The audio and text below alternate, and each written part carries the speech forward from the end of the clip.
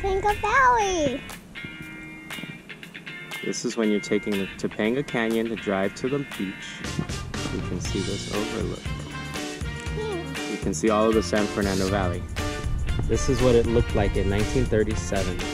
Just a couple of roads and a lot of trees.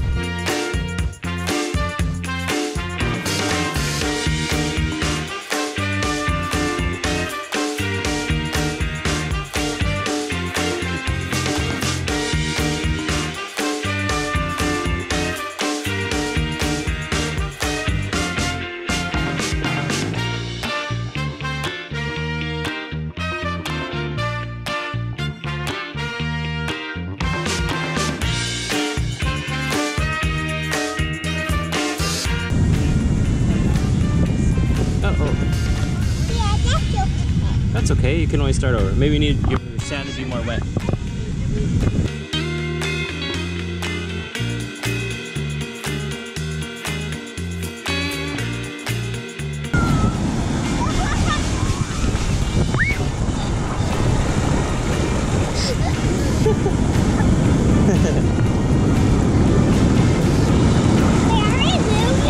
It feels like you're moving, huh?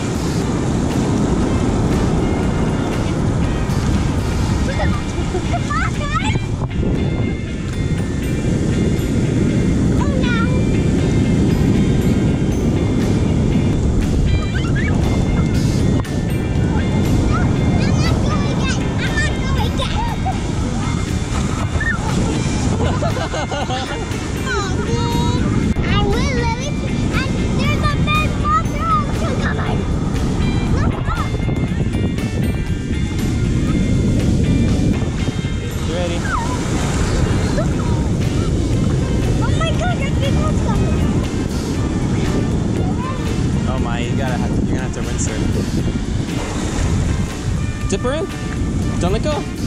Okay, lift her up. Lift her up, lift her up, lift her up.